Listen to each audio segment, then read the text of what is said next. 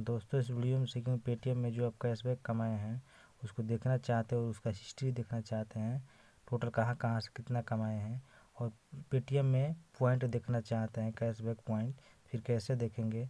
चलिए इस वीडियो में सीखेंगे। चलिए वीडियो को स्टार्ट करते हैं। हर स्टेक में आपका स्वागत है। सबसे पहले पेटीएम ऐप को यहाँ से हम ओपन करेंगे। ओपन करने के बाद से ऐसा इंटरफेस दिख जाएगा। दो तरह से आप देख सकते हैं। तो पहला तरीका क्या है? सबसे पहले हम नीचे चलेंगे। आप देख सकते हैं ये होम पेज आ गया। उसके बाद से हम सबसे नीचे चले आएँगे आप देख सकते हैं यहाँ पे।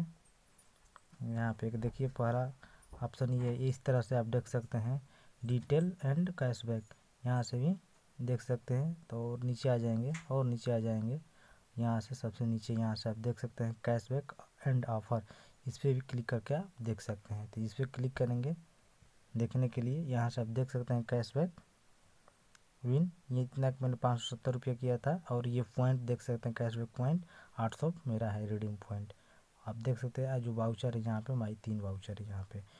चलते हैं, फिर ऊपर इसी चीज़ को मैं दिखा दे रहा हूँ सबसे पहले ऊपर जाकर।